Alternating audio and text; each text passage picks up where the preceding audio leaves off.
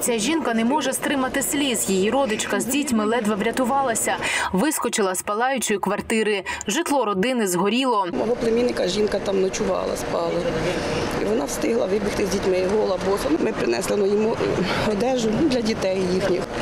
Остався без нічого. Російські дрони атакували вночі. Ці підлітки розповідають, як вибухало. Чудно було, як вони літали. Чудно зриви були. Частково зруйновані четвертий та п'ятий поверхи двох гуртожитків та ліцей. Рятувальники гасили пожежу всю ніч.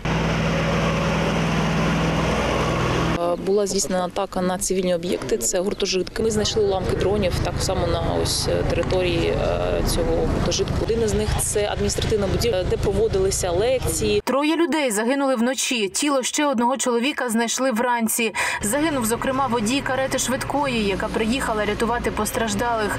Без батька залишилися двоє дітей. Повідомили на Фейсбук-сторінці Міністерства охорони здоров'я. Чотирьох людей оголосили зниклими. Ці чоловік та жінка розповідають, під завалами їхній 18-річний онук. Внук наш під завалами. Да. Він в ліцеї був цей час. Чи Да, да, да, да. І е, оці дві комендантші і вроді би дівчинка. а він тут вчився чи як? Да, вчився ж, вчився, да, вчився. Це ж третій год закінчував. Ага. А де він був? На якому поверсі, коли пішли удар? Були десь у підвалі вже. Вже бігли в підвал. Це як тривога була, вони бігли в підвал, то щось зробилось таке, що вони тут залишилися, остальні всі там.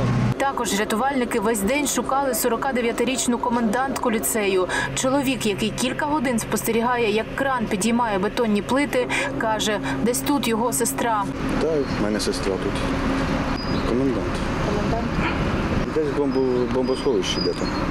Від вибухів постраждали дев'ятеро. Вони в лікарні. Зокрема, 12-річний хлопчик. Його з опіками повезли до київського Охмадиту. Батька дитини врятувати не вдалося.